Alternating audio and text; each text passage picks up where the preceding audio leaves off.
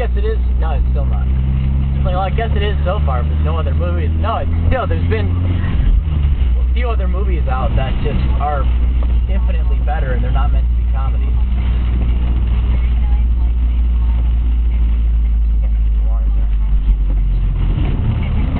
Open? Yeah. Friday through Sunday, only days.